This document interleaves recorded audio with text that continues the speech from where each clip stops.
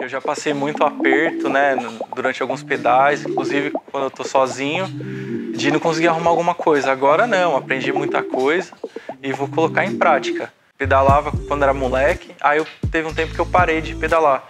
Aí um amigo meu, né, me convidou para fazer um pedal, né, eu fui com uma bicicleta antiga que eu tinha, aí comecei a pedalar, vi que a bicicleta não estava legal para mim, que eu precisava trocar de bicicleta. Aí eu comprei uma outra e desde então não parei mais de pedalar. Ah, o pessoal me apoiou muito, né? Minha família principalmente, né?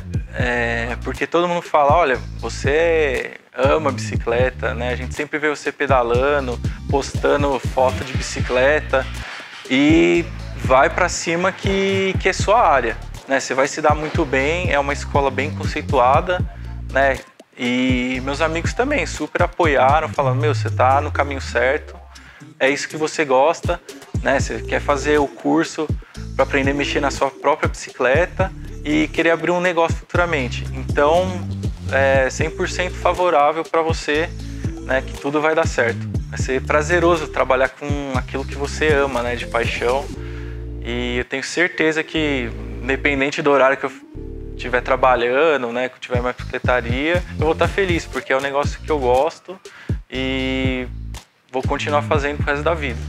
O que eu tenho a dizer é assim, quem acredita, quem gosta mesmo do desse esporte, né, o ciclismo, que está cada dia mais aumentando, né, em todos os países aí, vai vai para cima, vai fundo que dá certo, vale a pena fazer um curso, né, profissional, nem que seja fazer um curso intermediário, avançado para começar, porque vale a pena né, a pessoa pelo menos aprender o básico para poder se virar aí durante os pedais. Eu não me arrependo nem um pouco, né? Pelo contrário, eu acho que meu futuro aí para frente vai ser muito bom e vale a pena sim. Aconselho todo mundo a começar a praticar, porque além de ser uma paixão, um negócio que faz bem, é uma qualidade de vida, né? A bicicleta só traz benefício né? Você acaba podendo ir para o seu trabalho de bicicleta, sair de bicicleta com os amigos, ir num parque,